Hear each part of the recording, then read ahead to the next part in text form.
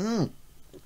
Hi there, hi, and welcome to another GM chat sessions. This is when I, as a game master, sit down and have a friendly chat with you about anything to do with game mastering. And in this sort of like mini series of videos, I'm going to be talking about behind the scenes, what actually happens, you know, behind the scenes in between um, adventures and sessions. And this video is going to be all about ideas for adventures. My name's Inwils, and welcome to the In Crowd.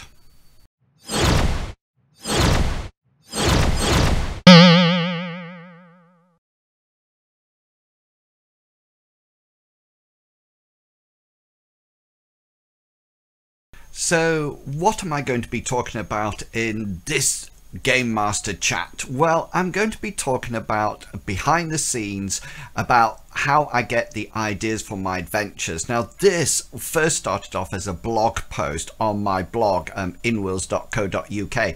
And by all means, go along and have a read at the original. But I'm going to change it slightly and bring it more up to date and share it with you guys today. As always, if you have enjoyed this video or any aspect of my channel, then please consider liking, commenting or subscribing. Just liking the video really does support the channel and also contributes to achieving my dream now I haven't decided what to put behind me or anything like this in these videos so it's going to be a bit of trial and error. So behind me currently is part of our game session so please have a look at those on YouTube as well. You can just um, click in the actual play video list. Okay then, so how do I make my adventures or initially how do I find out ideas? Right. Straight off the bat, I have a confession to make, okay? Because I do actually use a lot of pre-made adventures. Now, before you all go, gas, shock, horror, I do have a reason for this.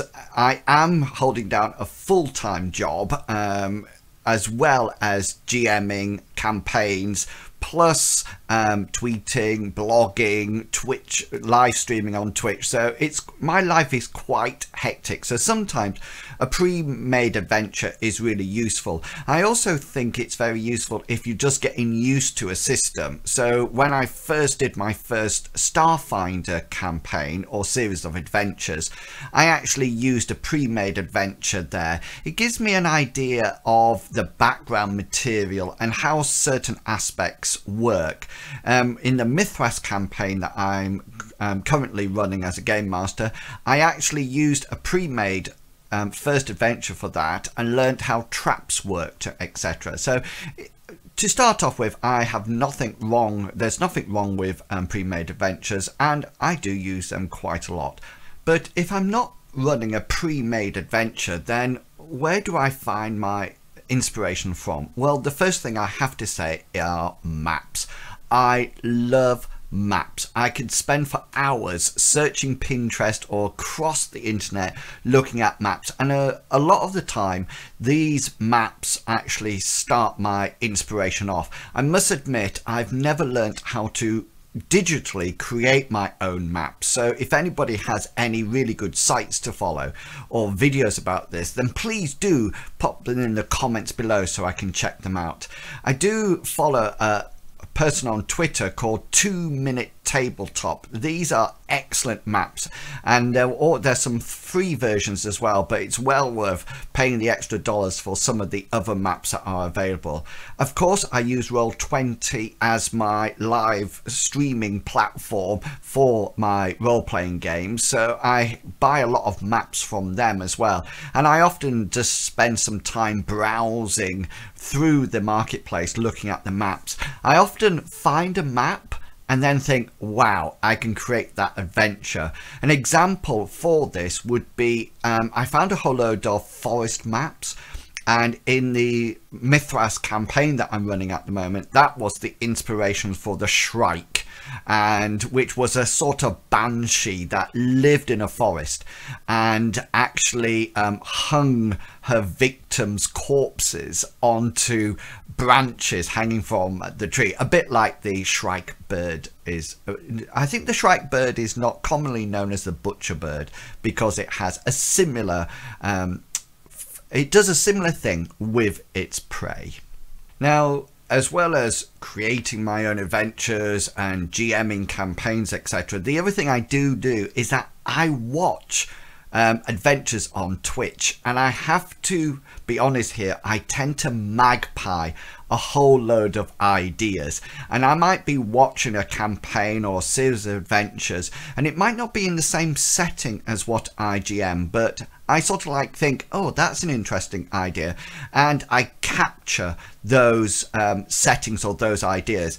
In a lot of the time, I call it magpieing uh, I steal those silver objects. Uh, I'm not too sure whether or not that's a good thing or bad thing. And I know I never say thank you to any of the Twitch um, streamers when I do magpie their um, ideas. So can I just say formally now, thank you everyone. You've been great. Um, I do capture them. I have a task manager system called OmniFocus on my Mac and on my devices. And I try to capture them straight away because if I don't, I just know I will forget about them and then come to my next adventure. So I do have uh, sort of like an area with all these great ideas written down, just waiting to be developed. Well, if you are a game master like me, then you will be aware that your brain never, ever, ever switches off. You know, you're always listening out for new ideas, seeing things. And I must admit, uh, a lot of my ideas come about through everyday um, occurrences. I might be walking down the street, I might be listening to a book, I might be watching a TV show, and all of a sudden something will happen. I think that's fantastic. Uh, I really want to utilize that. Or um, I often see a character or hear about a character or watch a person. I'm a great people watcher and I see a character, see a person and think, oh, that will make an excellent NPC. And I do, if you watch the Mythras campaign, there's a cartographer called Sylvester McCoon, and he was an inspiration. And I made up the NPC and actually made a whole load of adventures just around Sylvester. And I always put him back in so the players come back and meet him over and over again. So even um, everyday occurrences or ideas for NPCs actually generate some of my adventure ideas. And finally, um, this is a bit of a strange one because I get my ideas from my campaign. Yes, I know it sounds a bit strange. Now, there was a time that I was running, um, I was GMing three different campaigns. I had a Call of Cthulhu adventure set in Victorian London.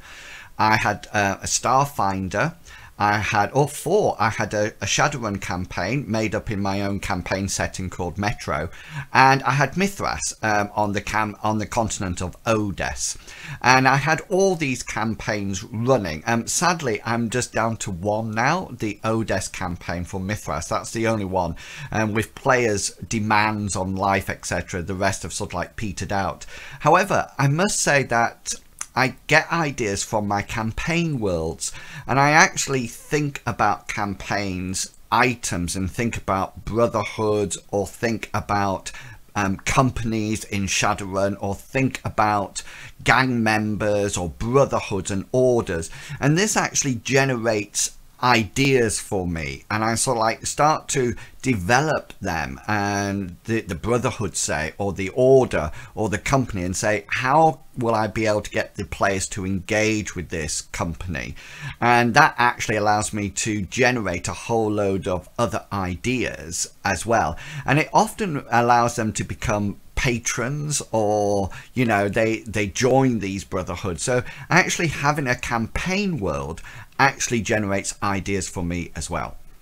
Now, I'm sure there's a lot of other places that I actually get my ideas from, but just to sort of like sum up, I really think the important thing is to capture those ideas and having a system that actually allows me to grab those ideas and store them. Um, I use OmniFocus as I mentioned beforehand, but things like Google Keep is just as good as long as you get them while they're hot, so to speak, and get them written down. So I'm really interested um, how you um, where do you get your ideas from for um, creating an adventure? Where do they come from? As always, I would love to hear from you in the comments down below. So please take the time just to have a quick type and let me know. And that's it. That's the end of this bite-size Game Master chat. I hope you've enjoyed it and I hope it's given you something to work on and a, a slight peek behind the scenes of how I operate my campaigns and adventures. Next time we're going to be looking at how I prepare the adventure. So do come along and see that and don't forget to press that bell button to get notification when I next go live. Until next time, I hope you have a wonderful week or month and please, please, please carry on GMing. See you later, guys. Bye.